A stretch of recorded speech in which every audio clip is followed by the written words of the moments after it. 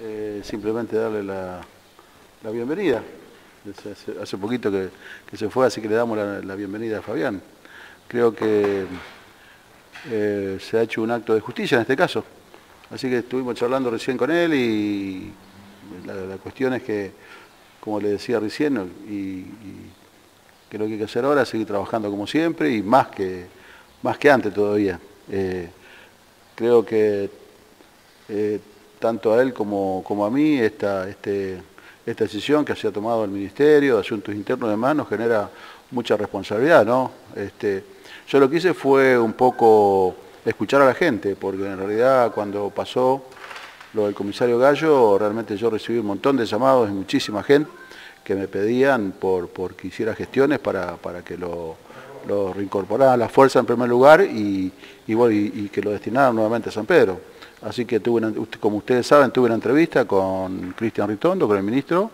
Eh, le conté algunas cosas que por ahí él no, conocía y bueno, eh, creo que después eh, el comisario Gallo fue, también si lo, citaron obviamente, presentó sus argumentos y en definitiva se dio esta, este regreso este, nuevamente a San Pedro que usted hizo, esta intervención que tuvo desde el punto de vista político en el Ministerio, el hecho de que eh, Ritondo y el, gobierno de la provincia de Buenos Aires haya revisto la situación del comisario Gallo?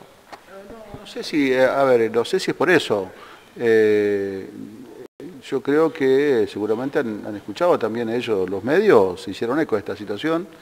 Este, lo que ellos han recabado entre hoy y ayer con con Agüero, con Juan Carlos Agüero, con Eduardo Relli, que no es muy común que suceda este tipo de cosas, que saquen un comisario y lo restituyan nuevamente. Este, evidentemente, eh, creo que está bueno que también desde el Ministerio se reconozcan por ahí que en algunas cosas se han equivocado. Todos somos seres humanos y nos podemos equivocar, yo también. Pero bueno, lo importante ya está, es borrón y cuenta nueva, hay que seguir trabajando. Este, uno no, de ninguna manera yo me quiero meter en la institución policial y en sus decisiones, pero cuando tenemos un buen comisario tenemos que saber defenderlo también. Y, también en algún momento si tenemos que hacer un reproche, eh, se lo vamos a hacer, naturalmente, porque para eso la gente nos ha, elegido acá y tenemos responsabilidad. Ustedes saben perfectamente bien que cuando pasa un hecho de inseguridad, al primero que le reclaman es al intendente.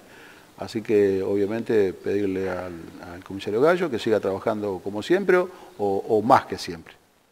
Desde que a partir del momento de desafectación me sentí muy apoyado tanto eh, por la ciudadanía, por acá por el señor intendente, eh, miembro de la municipalidad.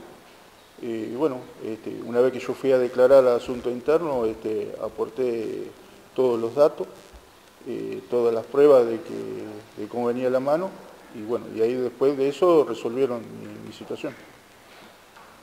La, la, situación implica que usted regresa con el cargo que tenía, con el puesto que tenía, con el mismo grado que tenía, como si no hubiese pasado nada, ¿O sigue el sumario y tanto usted es restituido al cargo? No, eh, me levantaron la afectación de servicio, me restituyeron el cargo y las actuaciones eh, siguen todavía hasta una resolución final, que pueda terminar en una sanción o sobreseído, no una medida expulsativa.